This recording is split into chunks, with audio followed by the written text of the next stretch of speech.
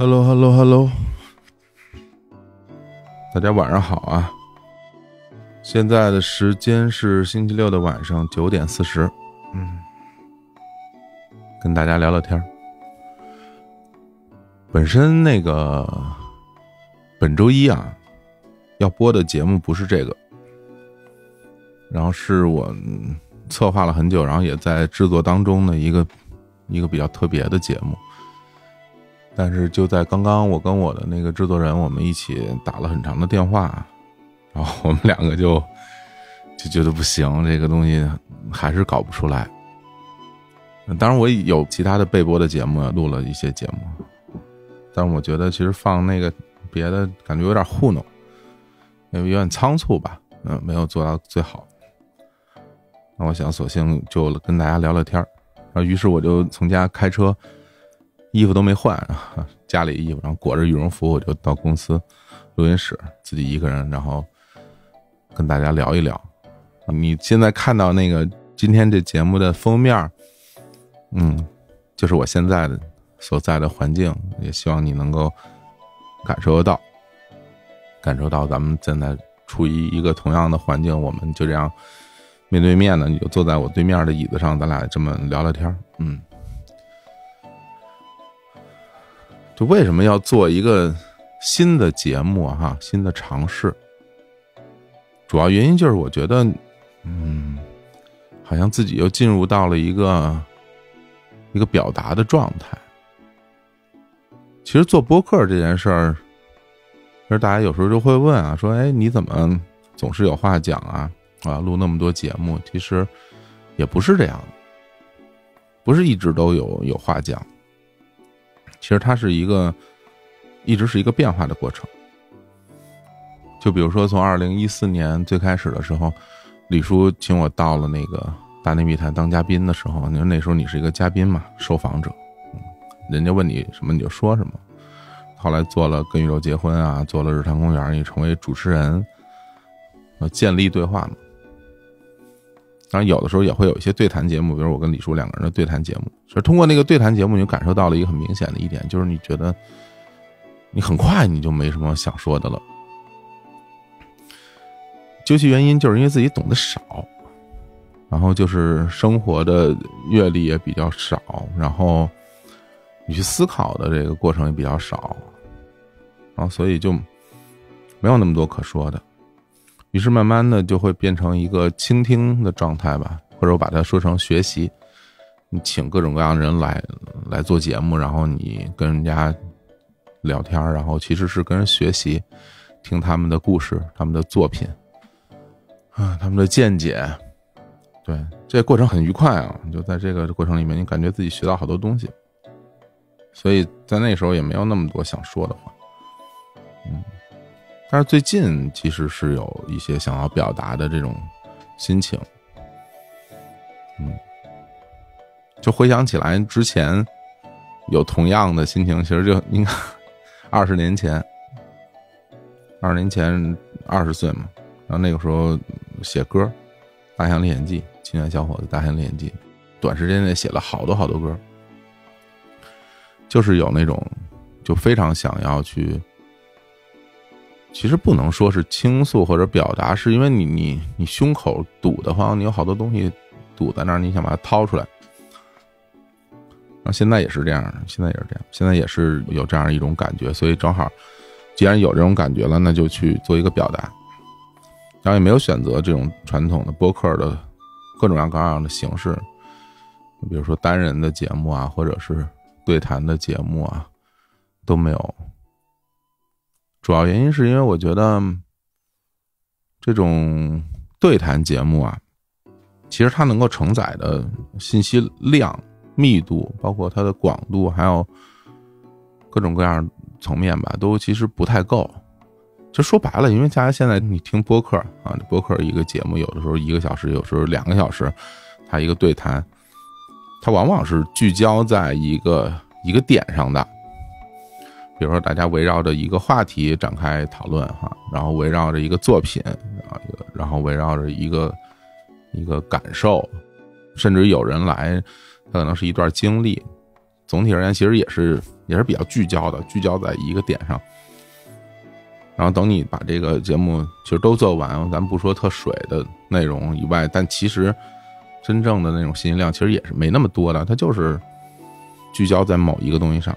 但是我现在想说的东西，就是我在那个作品里想说的东西不是这样，所以所以这种对话的这种形式，包括现在这种，比如今天这种单人轻讲述的形式都不太适合。对，那最终它会变成什么样，我也不知道。看看我和我的制作人，我们两个最后能够做出什么样的作品给大家听吧，共同期待吧。嗯，相信我制作人听到这一段的时候，他压力非常大了，已经，就说哇，这说出去了，这可怎么办呀？所以今天就在这跟大家聊聊天吧，其实也就是想到哪儿聊到哪儿吧。那既然聊到那个录播课，这就多聊几句哈，聊聊我的一些感受吧。那最近不是那个我跟淼叔新录的那一套案件啊，《北九州监禁连续杀人案》已经上线了嘛？大家都很喜欢，啊，我们也挺开心的。啊，当然有朋友就说：“哎，要听案件还是要听那个秒叔活动讲案件啊？觉得听起来特别的舒适，或者怎么样？”然后也有朋友说：“哇，这案件挺残忍。”听你们在里边讲，也听你们感觉就觉得挺辛苦，频繁叹气，觉得也很正常。嗯，案件的确比较残酷啊。大家说是为了什么恰饭啊？那个开玩笑。然后那个说白了，就为什么要录这样的这套东西出来？本质上还是因为我们觉得它有价值。就是，当然大家都会知道，说你录个案件，很多人都会喜欢听，因为。猎奇啊，或者各种各样的原因，当然这是大家的喜好嘛。那对于我们个人而言，我们录案件其实还是觉得它有它的价值所在，因为通过这些案件，你去去看不同的时代、当时的状况，啊，每一个人身处其中，他的反应都能学到一些东西。所以回过头来去讲一讲，从其实从技术层面。跟大家分享一下，就是录这样的节目，其实对我来说是最，其实是最累的节目。大家有可能觉得那种录案件很轻松啊，就是淼叔说，然后我我我在边上嗯啊的，其实不是这样的。嗯，就有很多人会讲说，哎，这个案子我是不是听过呀？那为什么你会觉得你听过？其实没有听过，因为你看过文字哈。那现在其实这些文字由我们的声音表达出来，你会觉得你看到文字的时候，仿佛。耳边就有声音了，是吧？那你从文字转换成声音的这么一个过程，它其实不单单是转换成了声音，而是转换成了画面，转换成了一幕一幕的戏。我把它称之为戏，就是场景还原。那其实，在这个过程里面，我跟淼叔其实是有很多角色的。我们在这里面构建了很多的角色，他很多时候是一个讲述者，那，有时候也是以剧中人的身份出现。那比如我这边的角色就会更多一点，比如我是一个倾听者，就是一个听众，然后案件中的受害者、受害者的家属、凶手、警方、检方，所有每一个人的角色的出现，其实是你要用每一个人的立场，用他的眼睛来看待这件事情，然后给出你的反应。所以大家如果去仔细去听的话，你能听到其实。很多时候的这些表达，我们的相互的互动，都是站在不同的角色的立场上，来完成这一幕一幕一幕的构建的。然后等到所有的这个案件终审结束了，我们两个就会跳出来，以一个俯瞰的视角、更宽广的视角去看待当时的那个社会的的状态，去看一个人是如何从一个小孩变成最后的凶手。他是怎么一步一步一步走到最后那个样子的？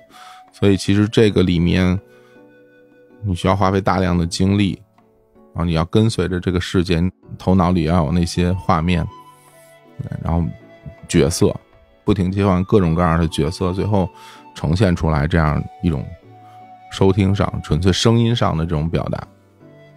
就这个也是我们这么多年一起合作录这样的节目总结出来的一些经验吧。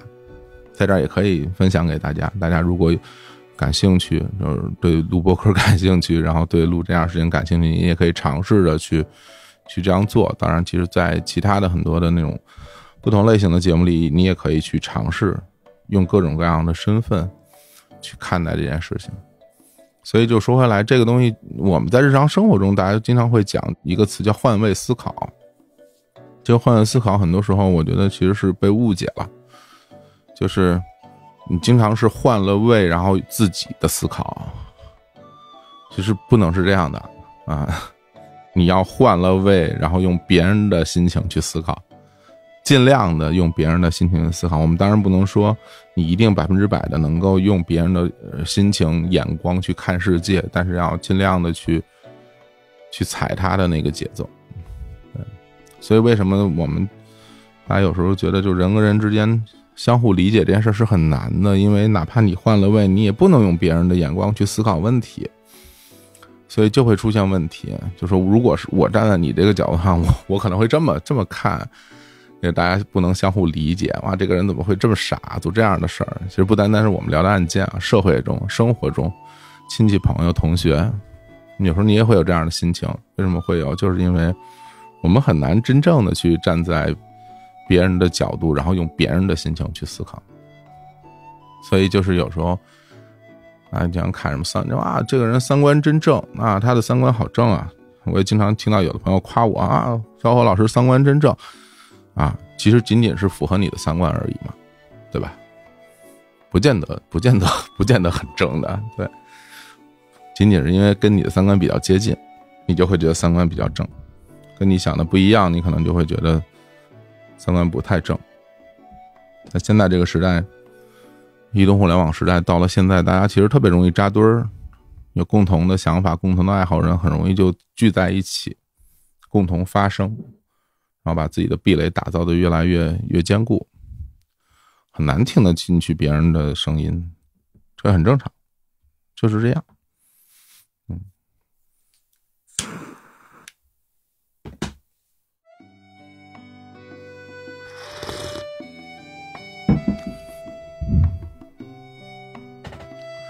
嗯，喝点水。啊，今天我刚泡了一杯茶，是淼叔送给我的那个南方的茉莉花茶，挺有意思的，跟北方的茉莉花茶不太一样。因为北方的茉莉花茶是看不到那个茉莉花的，只有茉莉花的味道，对吧？然后那个他送我这个南方的茉莉花茶，首先茶比较嫩，然后里边那个茉莉花泡开之后是很完整的一朵朵的这种状态，很漂亮，我还挺喜欢的，味道更。更接近茶的原始的味道。北方的茉莉花茶其实它更接近一种茶饮料的味道，我还挺爱喝的。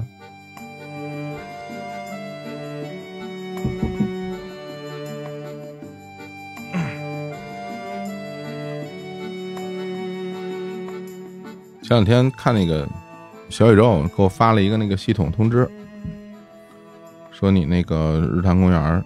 节目订阅三十万呢，我还我还挺感慨的。嗯，现在五百多期节目了，时间就一晃而过。然后最近，因为当然每期节目的评论我都会看了，看看大家都说些什么，聊些什么。然后我也就捋一捋我们现在这些节目都聊了什么样的内容哈。嗯，怎么说呢？其实我我我有一种挺强烈的区隔感，就是因为你看那个小宇宙那个节目哈，就是它首页上不会有一些什么编辑精选啊，然后有有什么各种各样的榜单呐，什么热榜啊，什么锋芒榜啊，什么各种各样的榜单什么的，我有时候也也会看，也会看上面都是什么节目，大家在聊什么样的内容啊，当然很多都是当前比较热点的一些。一些话题，就无论是正在上映的呃电影作品呀，还是现在正在流行的这种科技的新闻呀，比如前之前什么那个叫什么呀，chat chat 什么什么什么那叫什么，我都不会念，什么什么 p g p t 什么，然后还有一些那个讨论很多的这种那个话题，比如什么性别话题啊，什么就这些。然后我回看我们的那个节目里面，好像这些都不涉猎，很少聊这些内容。然后还有这么多朋友，大家还在坚持听我们的节目。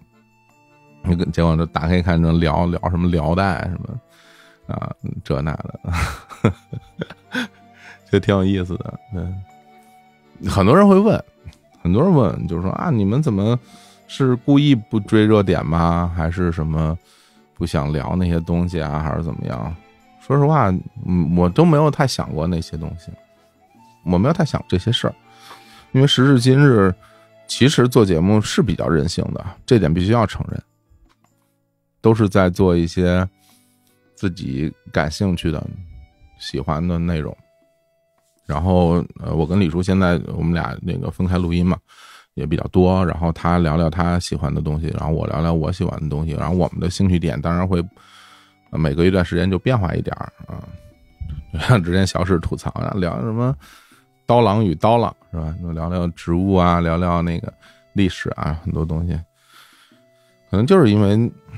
现在做节目就是想弄什么就弄什么喽，然后喜欢什么样的话题，喜欢什么样的内容，你包括那个嘉宾啊，我们很多的对谈的节目就找嘉宾，然后就找自己喜欢的嘉宾，还挺幸福的，就是不用去跟着任何人的想法走，尤其我们两个之间也没有，我们也很少去会沟通什么你想录什么我想录什么，我们是不是要要补充点什么内容，其实也很少说这些，大家都是在做自己喜欢的东西。所以我发现，我在这两年有时候跟朋友聊天，最多说的话题就是，就所谓的回归价值，就是你自己得认同这个东西，你得自己觉得这个是好的。之前跟朋友聊说，啊，也要做博客该怎么做啊？有挺多人问，我往往给出的回答都是：你要做你自己喜欢的东西，它才最真实，然后才能够做得更长久。也不会特别辛苦，这个事儿搞得很辛苦，就就太辛苦了。嗯，还是要自然一点儿，真实一点，也不用我我其实我没有特意去回避什么，回避那些什么东西。有时候大家也说你在那个日坛公园里跟在跟宇宙结婚里状态就区别特别大，这也不是刻意的要在哪儿摆什么人设什么的，其实都是我真实生活中的样子。就比如说我跟青年老师。刀老师他们在一起说：“我就是那样的，就是说话很放肆，然后胡说八道。嗯，其实总是会有一点点在刀老师面前觉得，啊，我就小孩儿，我就是那在这儿那个撒点野什么的这样的一种心情。然后大家去聊一些根本不在乎任何人感受的东西，就是就去说，其实那个就是那样的一个状态嘛。但是你可能你真的跟一个陌生的或者初次见面的一个人你在一起，你当然不会那样了。”你不可能是以那样一个方式跟人胡说八道，人也听不懂你在说什么，那大家对话达成不了了，没有没有意义了。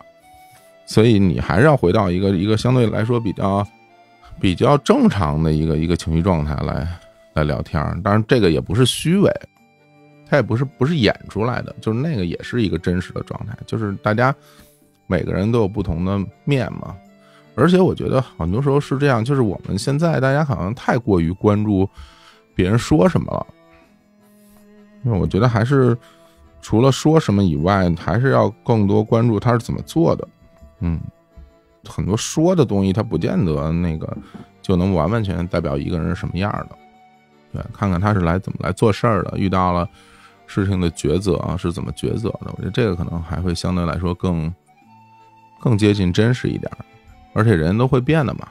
嗯，对于一个人的印象，其实你还是要动态调整的。他可能过一段时间他不这样了，大家啊，你之前这样，现在不这样了，那很正常。举例子，像之前大家什么什么谈恋爱的时候，在最初的时候都会表现着自己就所谓显好一点，对吧？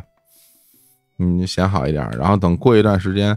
大家熟了，你就没那个劲头了，你可能就松懈了。松懈之后，就显示出自己原本的样子了。别人就会觉得，哎，你怎么变了？你之前不是这样的，你是不是因为是吧？咱们俩在一起了，你就你就变了？其实不是的，那个时候才是更真实的这个人的状态。然后，但是彼此可能就很难接受了。所以，最开始如果以一个很真实的状态来相处的话，这可能是一个好选择。但是在年轻的时候，你很难做到这一点。比如我在小的时候，我其实就很难做到这一点，肯定还是想自己显好一点，现在就没有这种心情了，对，就觉得是怎么样就怎么样吧，也不再会为别人考虑，说我这样做你会觉得更舒适一点，但是它违背了我真实的样子，嗯，所以就想更真一点的跟大家相处什么的，这样彼此都好，大家都会觉得更舒适一点。嗯，哦，对了，跟大家分享一个开心的事情啊，那个哪天啊？昨天？哎，前天？前天？前天那个就就我录音的之前那前天，二十二十三号，对，二十三号的晚上拿到了那个一款新游戏，呃，Switch 上的新游戏《八方旅人》，《八方旅人》的第二部，特别牛啊！非常向每一个人推荐这个游戏啊，史克威尔艾尼克斯出品的。JRPG，然后是那种 HD 二 D 的模式。所谓 HD 二 D，就是看着像那种二 D 的八位的八比特的那种感觉的，但它其实是一种新的技术，它是有景深的，但是是追求那种那种画风，嗯，非常非常好玩的一款游戏。嗯，八方旅人也也叫歧路旅人。那个第一部出来的时候，我就玩了一下，让我重回。重新找回了游戏的快乐啊，而且沉迷了，特别喜欢。然后这个第二部现在出了，就是那个还是跟第一部一样，就是有八个主人公，不同的职业。我尝试着背一下啊，有这个猎人、盗贼、药师、神官、学者、舞女、剑士、商人。一看就就对吧？正经玩过吧？八个人对吧？八个角色，八个职业，然后他们每一个人都是初始在不同的城市里边。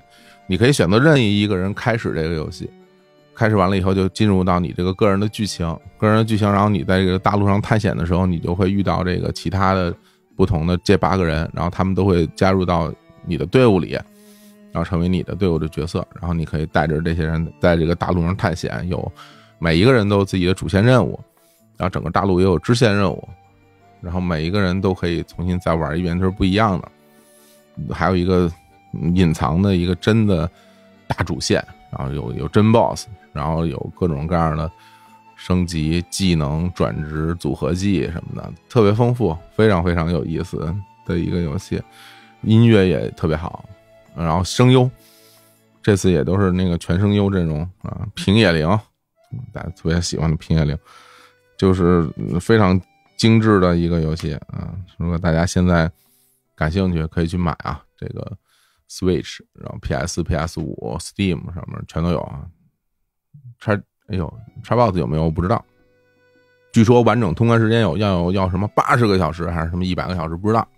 我这两天正在玩，特别开心。我用那个舞娘开的局，用舞娘开局，现在我已经有了三个伙伴了，有这个商人和剑士，那因为他们在同一个大陆嘛。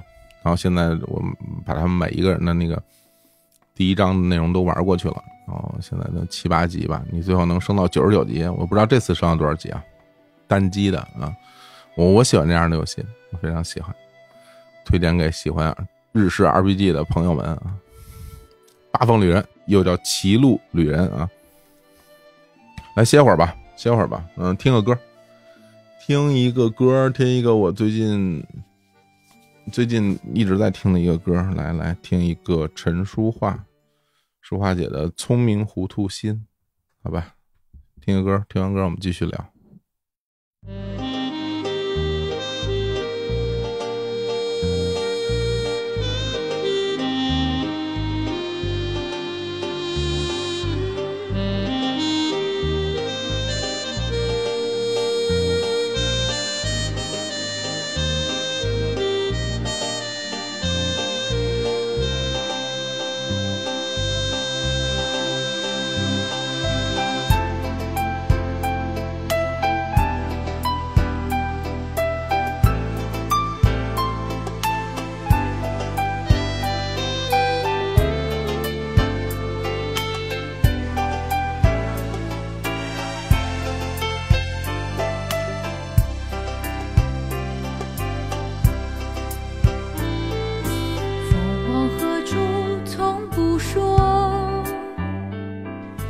留下空白线索。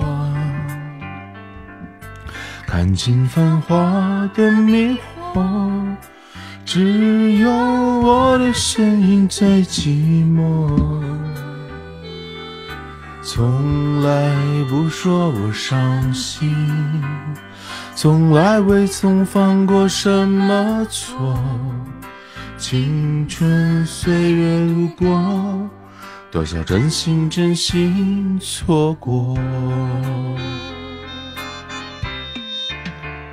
聪明看事情，糊涂一颗心。我要付出所有的感情，只要你肯说，拥有只为我明白我在寻找什么。聪明看事情，糊涂一颗心。汇聚眼中所有的乌云，只要你肯说，永远陪伴我，因为有你，一生快活。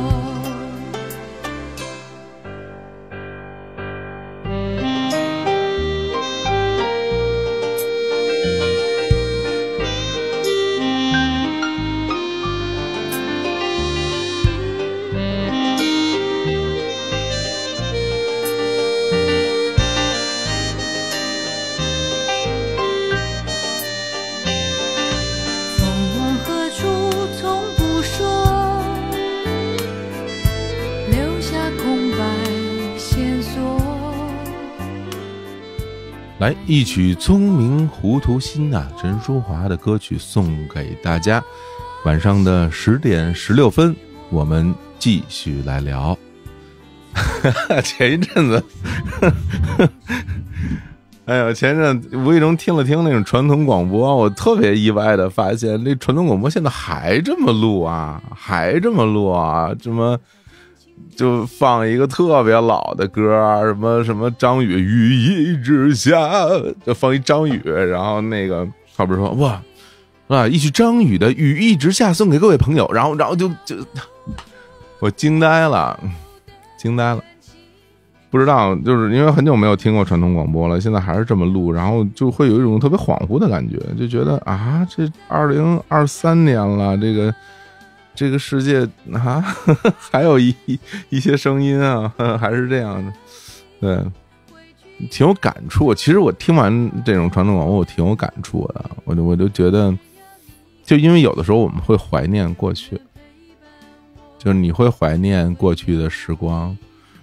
然后当你怀念过去的时光的时候，其实你怀念都是过去那些美好的时光，会让你觉得舒适的时光。有很多人怀念上学的时候。会觉得啊，学校的生活多好啊，大家的关系很融洽，然后那个无忧无虑的，或者是怀念过去城市还是原来那个样子的时候啊，那个时候这个地儿原来是什么，那个地儿原来是什么。其实我们在怀念过去的时候，都是怀念过去那些美好的东西。然后你会选择性的遗忘那些不好的东西，比如说你怀念上学的时光的时候，你肯定不会去怀念考试之前的那种紧张。考完试的那种落寞，日复一日的上学，然后你可能要去挤公交车，你要去骑自行车，在腊月寒冬的时候骑着自行车去上学，冻得耳朵通红，戴着手套，手也非常的冷，更别提有时候会下雪，有时候下雨，刮大风，对吧？你可能不会去怀念那些东西，你可能想的都是那些美好的东西。你怀念城市里原来的样子的时候，也是啊，这个城市原来有什么什么，这儿原来有那些吃的，但是其实你已经忘记了，那个时候没有现在生活的这种便利，买什么东西别人给送到家门口，你再着急，你有闪送同城的这种快递，很快就就送过来，生活的内容已经变了，然后大家在享受这些便利的同时，可能就会怀念那些过去那些很微小的那好的东西，都是这样的，我觉得都是这样的。我记得我当年特别明显的感受，因为我北京、上海两地生活嘛。我上大学在，我在上海，我一到了上海，我就会想念北京。到上海，我就会觉得啊，北京这个也好，那个也好，有很多喜欢的东西，然后那些熟悉的感觉，就很想回家。然后当你回到北京的那一刻，你就会发现，没有你想象那么好。很快 你就会厌烦，你就会厌烦，你就觉得哇，本来想的挺好的，这儿怎么这样啊什么的，满大街连个便利店都没有，是吧？然后很多虚头巴脑的人，非常吵闹的城市。然后你又想着我，我又想回到上海。你去上海那些干净舒适的街道，那便利的生活，人与人之间那种有距离感的冷漠，给你带来的那种独处的舒适感，漂亮的城市绿地，然后你会想念，你会想念这些东西，又很想又回到上海。然后当你回到上海那一刻，你又会觉得啊。这儿的人说话办事怎么都这样啊？大家的那种虚伪，我指的虚伪是那种标杆性的东西。其实上海它是有一个很明显的一个城市特色，就是大家都会去想让自己显好，努力让自己显得非常优美。嗯，在这个过程里面，你就会看到很多人的努力，隐藏在优美背后的那种努力。对一种不真实的表演式的这种生活状态，当然也有城市里边的这种吵闹，都会有。有时候你回到家乡一样，家乡的那种人与人之间的这种相互的比较啊，就是各种各样的东西，你都会觉得都没有想象的那么好。我觉得这个就是人之常情，大家就是这样这样在思考问题，在生活的。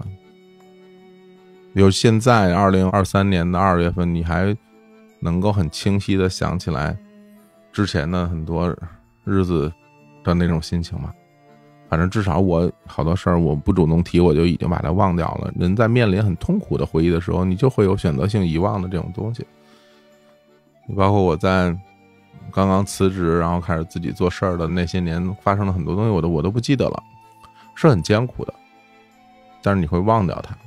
你最终，你脑子里边走过的那些东西，它其实还是那些相对来说好一点的东西，所以这可能是支撑大家生活下去的一个基因里的东西吧。你如果每天都想着那些很痛苦的东西，你生活就变得很困难，也很难继续。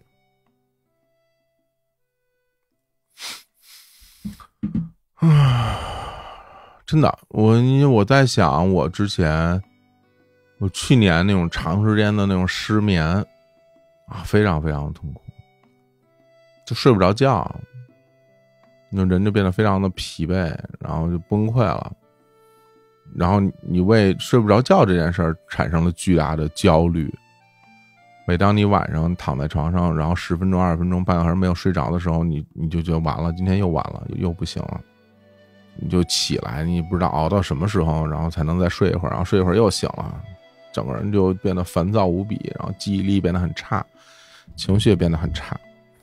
有一段时间，大家说那么要多晒太阳，然后白天我就每天都在外面待着，坐在椅子上，以至于后来过了一段时间，我去踢球，队友就说：“你怎么这么黑呀？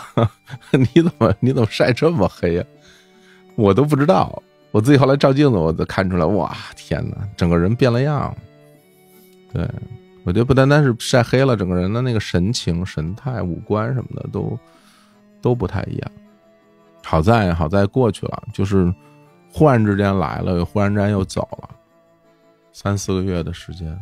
你当然现在也没有说真的就是一觉睡到天亮这种情况，几乎也没有。但至少你可以，你可以入睡，然后夜里可能醒个一两次，然后第二天六七点钟起来，我觉得还好歹还能维持一个正常的生活状态。你不会有那种很严重的这种精神上和这种整个的身体的反应，我就就觉得已经挺好了。说实话，我觉得我自己可能已经慢慢接受了这样的一个状态，就是你，你可能就是要经历这种东西。你到了这个年纪，你的身体的变化，你的骨骼、肌肉、荷尔蒙的分泌，所有东西都都有变化了。不再像原来似的了，你可能要去重新接受一个新的自己，先接受新的自己的身体状态，再接受自己新的精神状态，然后再达到某种平衡。你说这就很像，我觉得就是，就是大家对于生活是有一个是有惯性的，是有一个惯性的认知的。就比如说，我出生在八十年代，然后当我小孩的时候，其实这很快就是到九零年代了嘛。那能那个时候，生活是一直在变好的，对吧？生活的物质条件，我们能看到越来越多的不同的城市的变化，大家收入越来越高，城市建设越来越好，生活一路变好。其实中间都没有经历太大的波澜，一直到什么开奥运会啊，零八年，就一下就一直都是在变好。全世界其实也都是在变好的。你从文艺作品上你能看得出来，大家都是很有希望的去奔赴未来，拥抱未来。然后忽然之间，这个世界就往下走了。那这个时候，人们习惯性的去需要寻找一个。一个人来承担错误，是谁犯了错，让我们的生活变得更差？这是一种简单的解释，这是一种对世界简单的理解和解释。所以在这样的讨论里边，大家容易出现分歧，因为你如果本着一个是谁犯了错的这样一个命题，那大家就是会出现分歧的，嗯。但如果把时间维度拉得更长一点，在一个更更长的时间维度的角度上来看，来看，其实这个世界一直变好的这种时间维度，在人类这么漫长的历史当中，其实都是不太有的。这世界不就是一直起起伏伏的这么这么过来的吗？当然，我这儿不是不是再去讲让你接受我的这种说法，或者说。没有人犯了错，我并不是去讲这个，而是在讲，如果我们从一个更长的维度上来看的话，你去感受这个世界的脉搏，你感受这个世界的跳动。对，但总体而言，我觉得我们现在还是还是向着文明的方向去奔跑，对吧？包括现在大家很多关注的这些话题，其实就是向着更文明的方向去奔跑。当你的物质条件到达了一定程度之后，大家精神上就是要去追求更所谓的追求真理嘛。其实很多时候大家讨论的事情不就是在去追求真理嘛？就是尽管世界实际上是这个样子，但是我们去追求一个真理。对我们不能说啊，你追求真理没有价值，因为现在世界就是这个样子，你不能用那样的方式来生活。其实我觉得思想和真实生活中的操作，它是它是允许割裂的。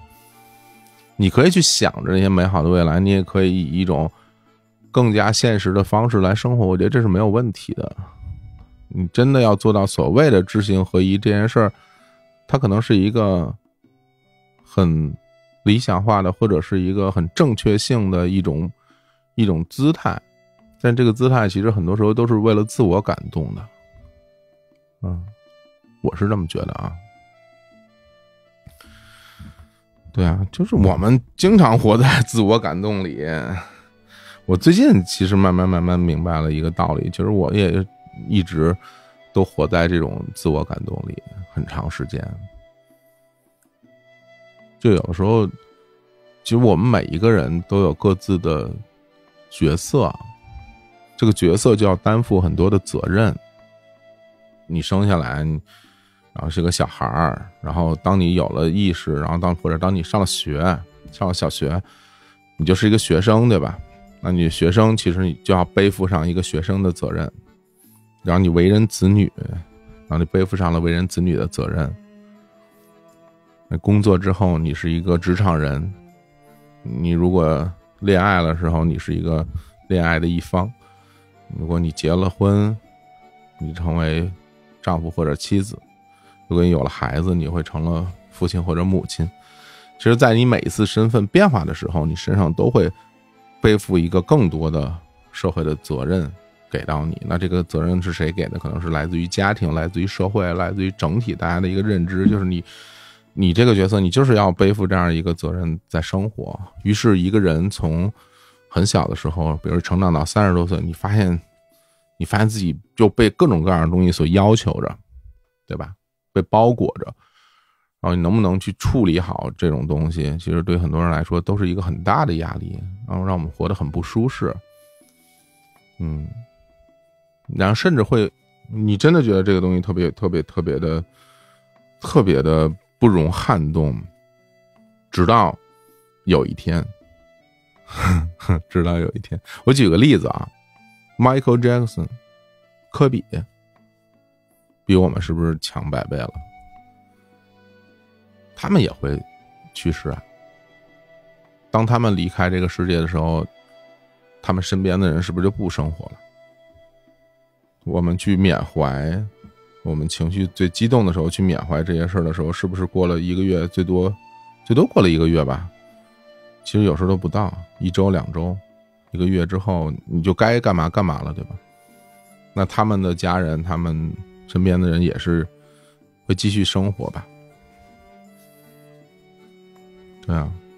因为你会发现，其实没有你世界一样转动的。那你身上背负的那些责任，是不是真的有它那么大的意义？有的时候，身边人就会跟你讲嘛，你应该做这个，你应该做那个，你是一个什么什么什么样的角色，你就应该做这样的事情。就好像没有你去承担这些责任，这个这世界就完了，你家庭就崩溃了。其实远不至于，有的时候我们自己都信了。嗯。其实远不至于，就好比《日坛公园》这个节目，你可能现在有的朋友会觉得哇，这个节目陪伴了我很长时间，对我来说非常有意义的。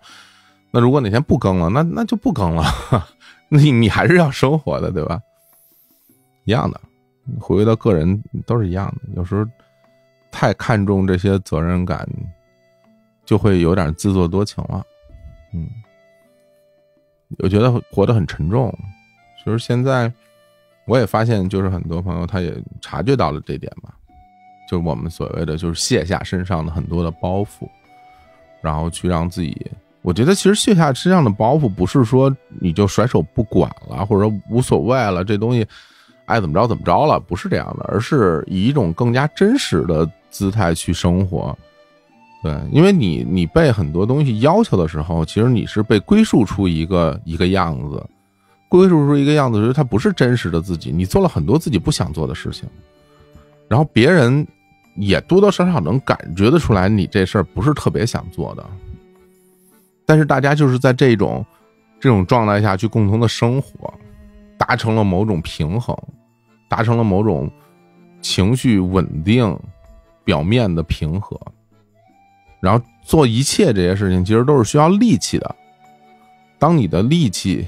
够的时候，你可以去消化所有的这些你需要去做梳理每天要做的事情，然后消化那些负面的情绪，你去消化很多东西。然后，但人啊，人的力气它不会永远特别的饱满，你总归力气其实是大的方向就是慢慢慢慢消散的。当你力气不够使的时候，你就会选择一些在当前你看来没有那么重要的事情去放弃它。然后，当你力气。再不够时候，你就再放弃一点。其实那个时候都是一种很被动的一个状态。这就是为什么大家看到很多身边的那些可能上年纪人，他们已经不太在乎社会规则了，对吧？不太在乎这些东西了。为什么呀？我觉得就是因为没力气了，没办法，就没办法再去让自己显得有多好，或者是要完美的承担各种东西，没有力气了。于是。就只好被动的丢掉一些东西，最终就活到了自己真实的样子，让你看到啊，这个人其实真实样子是这样一个人，对，那这是一种很被动的、很被动的东西。别人说你，你也不是真不在乎，是没劲儿在乎了。哎，说吧，怎么着都成，爱说说嘛。对我觉得，与其到那个时候去被动的去做，还不如现在主动的去做，可能会更好一点。啊，你可能能够舒适的生活的时间会更长一点。就大家不其实都是想要更更舒适的生活嘛，寻求一种所谓的就是，无论是你追求自己的工作啊，追求自己的生活的地方啊，各种各样的，其实都是想去追求舒适生活，但往往我们听到很多人都会说，那我也没有办法呀，这个事儿这个我得弄啊，就这个事儿那个我得弄啊，很多时候用这个东西来来说服自己，我也没有办法呀。就是当当你你试一下，你试一下，你试一下，对吧？感受感受，没准会有新的生活体验。来，我们再听一歌吧。听一个《收留》，来自童安格的歌曲《收留》。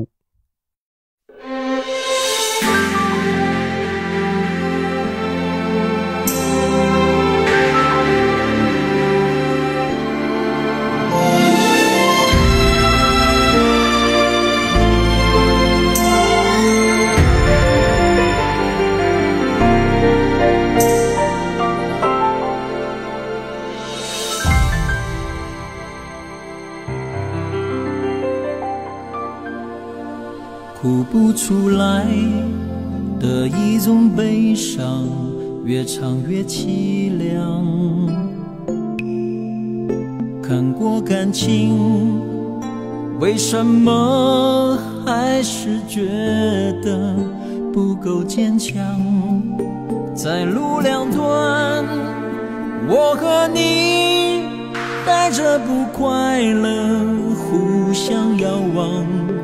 让日子漫长，人心是疯狂，却又不能放。说不出来的一种失望，越忍越沮丧。经过感情，为什么还是让人一场再场？敬你一杯，说好了，从现在开始学会原谅。谁曾经受伤，谁会被遗忘，再也不要想。收留我的心，从今后不想再流浪。点灯照亮前方，就算最后依然悲剧收场。若夜太感伤，记得还有我的肩膀，肯听你说谎，能陪你彷徨，和从前一样。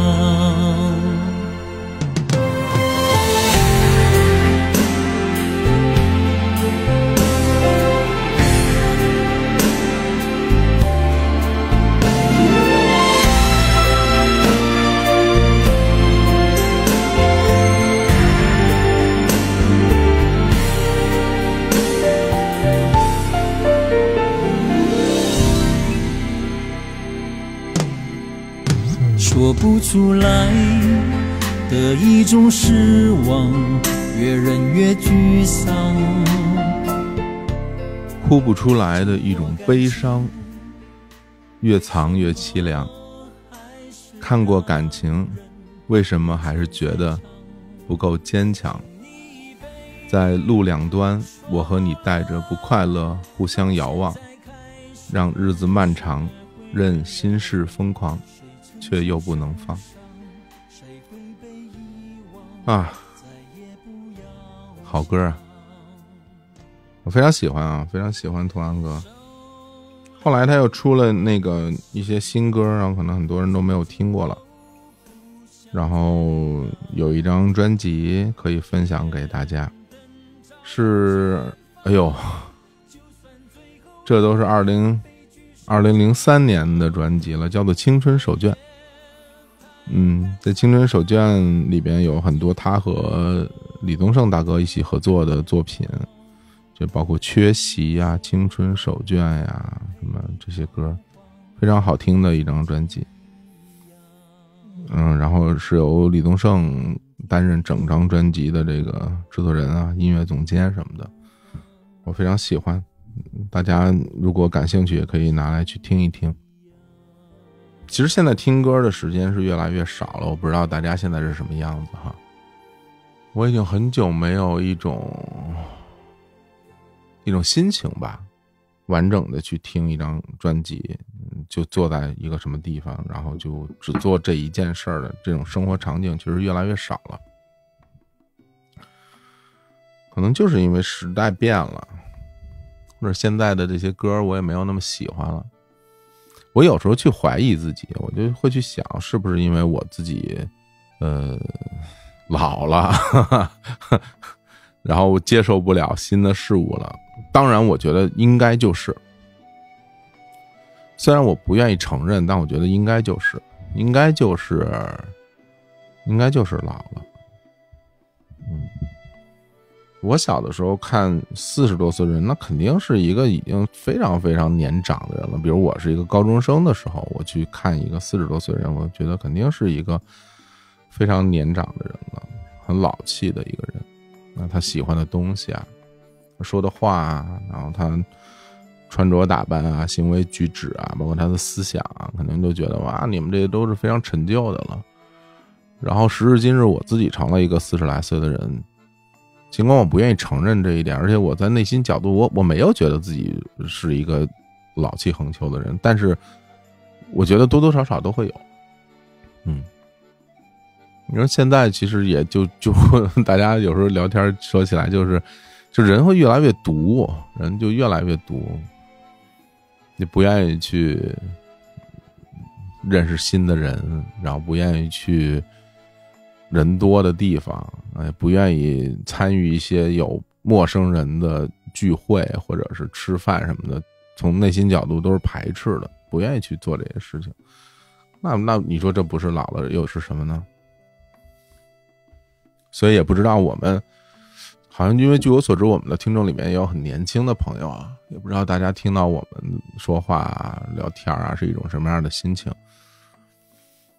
嗯，你你也不用告诉我，你也你也不用告诉我，我比较脆弱。但是我觉得有一个好处是说，当你越到现在这个状态的时候，你可能越能了解到真实的自己是一个什么样的人，你真的喜欢什么，你真的是一个什么样的人。就比如说，你问我是不是真的喜欢音乐，我觉得可能都说不上。对。那我真的喜欢什么？喜欢足球，我是真的喜欢。然后录播客，我还挺喜欢的。嗯，然后也是一个挺封闭的人，不太愿意去见很多朋友。其实这么多年，真的和就所谓同行在一起的时间都很少。有的人喜欢见各种各样的人，然后去 social 什么的，然后我就。就很不愿意，就是经常就是大家 叫也也不出去，然后后来发现没有什么人叫，哎，没有那么合群儿。嗯，反正就自己活自己一个舒适吧。因为最近，尤其是这些年这几年，大家可能经历了一些事情以后，可能更要去寻找一些自己真实想要的东西。你会发现，前两年不是逃离北上广，然后这两年又跑大理哈，然后有好多人就。各种各样的方式去寻找自己的生活，因为的确，比如现在各行各业，大家生活其实都挺困难的。就我身边，我亲眼见到过的，就是自己的自己的事儿可能就不太行了，然后要去寻找一个新的事情做。然后，尤其是像我们这代人这个年纪的人，你现在再去做一个新的事情，其实是很困难的。大家再去想，之前那个我父母那一代人，他们去下岗的时候再就业，然后他们其实都已经是三十大几、四十来岁的人，其实把你再重新推到社会上，其实是很困难的一个局面。你也不知道该去做什么，很多人就只好去摆摆摊儿什么的。但你摆摊儿的过程里面，又会遭到很多的限制，然后于是生活就感觉就被逼到走投无路了嘛。那现在去反映那个时期的很多作品。我们也能看得到，尤其是所谓的东北文艺复兴啊，是吧？你能看得到里面作品，包括呃内蒙的那一批导演啊，他们讲述的很多的故事，其实也都是有那个时候的色彩。其实那都是我们这代人童年的记忆。然后随着自己年纪大了，慢慢能够理解到当时的情况，理解到当时父母的所处的处境，然后把它实体化，无论是用文字啊。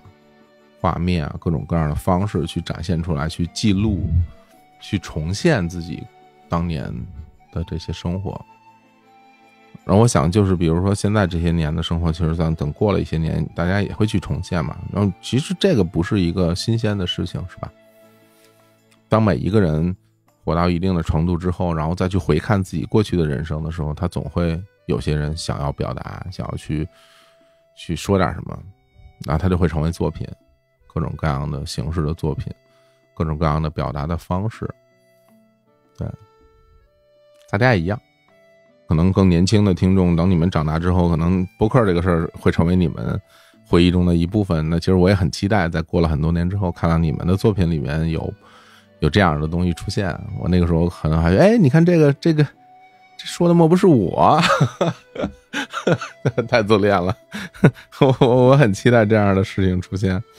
嗯，这是一种多么有趣的时空交错啊，对吧？呃，重新回到了大家的视野当中。不过说出来，现在的这个生活状态的确是很挺困难的。然后大家都一方面其实是有着越来越强的自我意识，然后关注自己，然后一方面又被现实的生活压制的挺严重的。对，不说别的，你说我们现在，包括我们这一代人，包括现在的更年轻的一代人，大家谁买得起房呢？然后我们就会觉得啊，这买房这件事遥遥无期了。你看那么辛苦的工作，一辈子可能连一套房都买不了，大家觉得就很绝望啊。但是，但是我不知道，大家有没有想过，就是就是买房这件事是不是一个人人生中一件一定要达成的事情？我都不清楚这件事儿是谁是谁告诉我们？我们的生活要以能否买到一套房子来衡量，来衡量自己的生活的状态，我也不清楚，因为我也没有自己的房子哈，我觉得也很困难，在北京买房子。当然，你说租房的日子就是很辛苦啊，就是非常非常的辛苦。嗯，那未来会怎么样呢？因为他不知道。比如说我在十几岁的时候，我就会憧憬你未来的生活，就是未来的生活哎会是什么样子。然后当你二三十岁的时候，你觉得还有时间，还可以去实现你之前的那些梦想。然后等到现在这个年纪，你会发现好像时日无多了。我指时日无多，就是你去达成你想要去达成的目标这件事儿已经很困难了。那可能大家就在这样的一个迷茫、困难的这样一个过程里边，很快发一扭头发现自己五十了，我操，这完了，人生就就这样了，就随便了。就是，我觉得很多人其实是这样生活的，活到这个年纪，他就是这样了。然后，于是乎就泄气了，或者于是乎就寻找新的这个生活寄托了啊，玩玩手串，养养虫子，唉。现实的生活就是这样，那能怎么办呢？我们其实也找不到特别好的办法。如果你往好的方向去想的话，就是可能我没有经历过特别严重的天灾，然后没有经历过战争，可能是，可能是从历史的维度来讲是挺幸运的，对吧？因为你从历史的维度来讲的话，经历过天灾、经历过战争的人其实是挺多的。大家如果回看那，你大家去去看一看。就是这个世界上不存在战争的时期是不多的。我们生活在一个没有经历过战争的这么几十年的光景里面，其实是很幸运的一件事儿。但是回归到个体，你又不能说以这种方式能够完全说服自己说我已经很幸福了，于是我就能接受现实生活中的所有的不如意。就是你是很难做到的，你。你没有办法用这个东西说服自己，你只能说我没有经历过战争是因为我幸运。然后呢？然后我既然已经幸运了，我是不是应该有更好的生活呢？或者是我，对吧？能生活更快乐一点？大家总是会去想这件事儿，如何让自己更快乐一点？嗯，你不会去想说我已经很幸运了，所以我就知足了啊？这这话很好说啊，你你知足常乐，你多知足，你生活就会变得很快乐。这个话很容易说的。但是我觉得没有意义呀，说它没有意义，你就跟原始人比，那当然好了，对吧？那原始人因为牙掉了，可能就死了，我们还不至于呢。《流浪地球》里说什么，这人类的大腿骨接上了，都是人类文明进步的标志。那我们现在这骨骼折算什么事儿呢？接上不就完了吗？没什么，你不能因为这个去说服我说你就应该你应该感恩感恩宇宙，感恩自己生活在一个好的时代，不是这么回事儿。所以如何能够找到自己一个自洽的、舒适的生活的状态，其实是摆在我们现在每一个人面前的一个话题。然后这个话题就会被拿出来聊，这是一个特别可怕的事儿。就当这个话题被拿出来聊的时候，由于我们现在的移动互联网时代，每个人都可以发表自己的观点，你会接受到无数的信息，然后在这些信息里边，你就会迷失了，你不知道谁说的对。而且我们本身对于权威、所谓权威啊，包括精英主义的，从心底里的这种排斥，你就更没有办法去寻找到一个你觉得正确的答案。你看谁说的，你都觉得他在骗你。就是我们已经没有办法建立信任了，这个事儿其实非常非常的可怕。我们没有办法建立信任了，我们甚至于在当前这个时代，连身边的人都没有办法建立信任了。跟自己的父母、自己的情侣、家庭成员之间就能建立百分之百的信任吗？其实是很困难。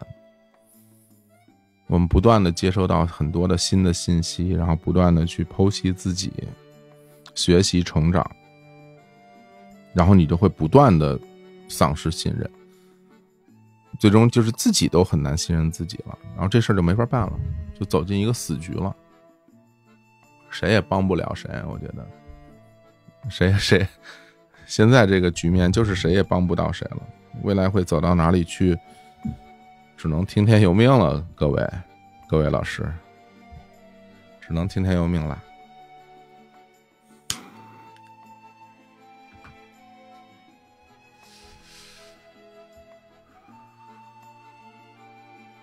但是笃定自己又是一个非常可怕的事儿，你知道？自我笃定是一件非常非常可怕的事情，你大概率是会犯错的，因为我们都没有水平啊。在座的各位，大家，每一个人，我们都没有水平，我们都是没有水平的人，所以我们笃定自己就非常的可怕了。我原本想着一镜到底的啊，一镜到底啊啊，整个电影一镜到底，是不是很大胆？你们有没有看这段儿？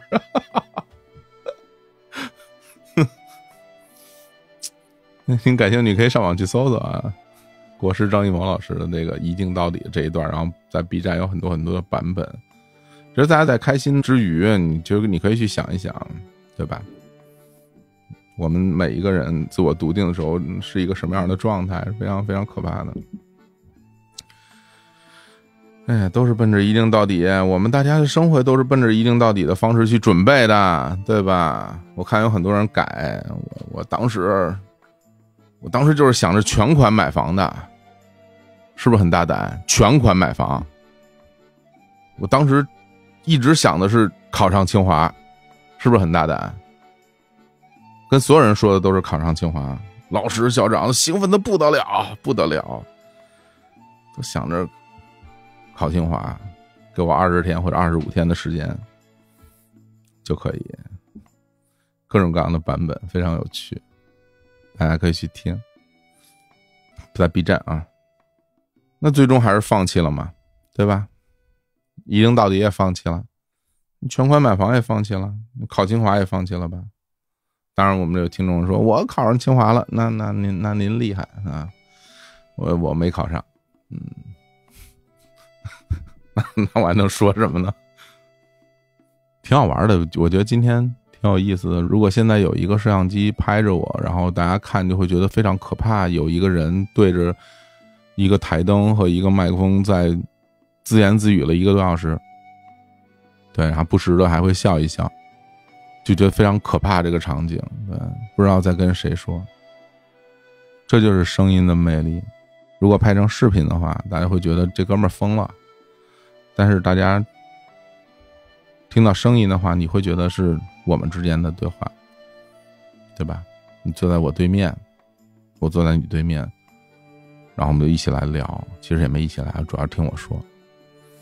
我们来共度这段时间，我觉得这个就是声音的魅力。其实我在做很多节目的时候，都是在想象着一个一个空间感，就是我坐在哪儿聊，我在聊什么，我希望把这些东西原封不动的传递给大家。大家在听的时候，我希望你们能够感受到。比如我在跟一个人对谈的时候，你其实是可能你看到的是我们在对谈一个话题，可能是像圆桌派那种几个人在一起聊。当然，有的时候录节目，比如像我跟刘 Sir 录什么金朝啊、辽代那些事儿的时候，我希望把大家拉到当年的那些事情里，我们回到那个那过去，然后我们大家一起站在一个旁观者的视角去看那一件一件事情的发生。然后有时候聊作品的时候，我要把大家聊到录音室里，看他们怎么来录这个东西，怎么做后期，怎么剪辑，然后或者是跟着随着导演的视角来看世界。我们去聊每一个节目，其实我都会去想象，大家听的时候，我想带你去哪儿。其实非常大言不惭的说一句，就是我录每一期节目，我都希望带着大家去一个地方。嗯。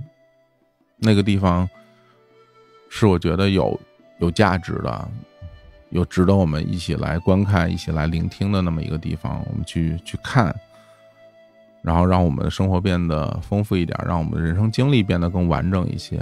每一个人只能走完自己的一生嘛。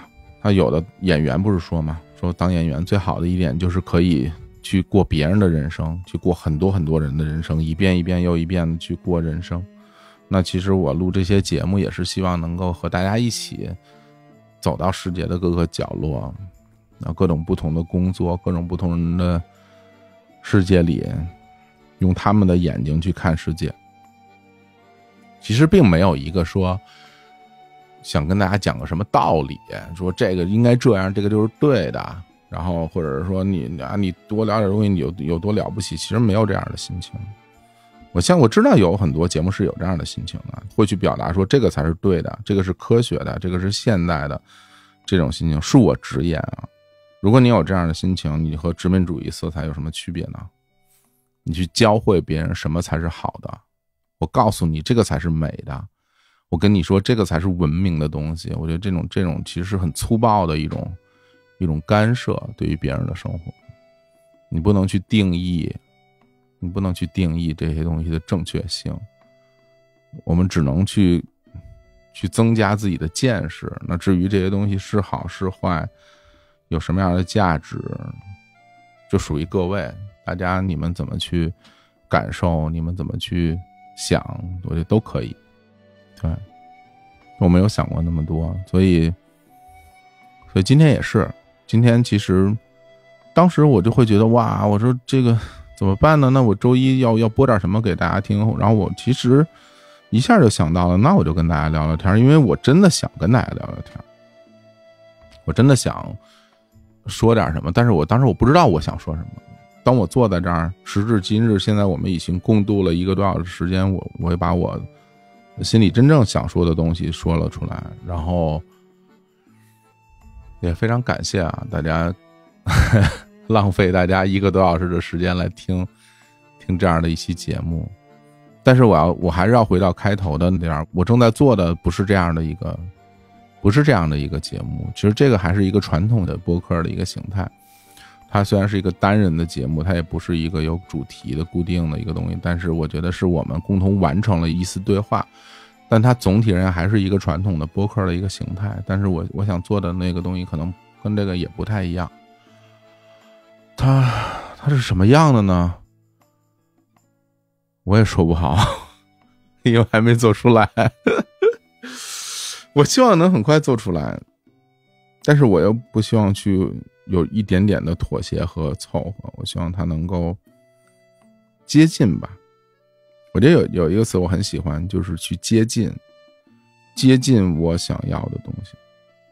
我们在生活里面很多时候其实努力了半天，最终我们。做到的就仅仅是接近，我们去触碰，我们努力去触碰，那仅仅是努力了，可能中间还差一点但是那你知道那是什么，知道在哪儿，就已经是一个很幸福的事情了。嗯，好吧，那今天就跟各位聊这么多，挺有意思的一个尝试，之前没有尝试过的一种形式。嗯，十一点多了，我要回家了。最后再给大家放个歌放一快乐点的歌吧，好吧。好，那就听歌吧。我们下回见，大家拜拜。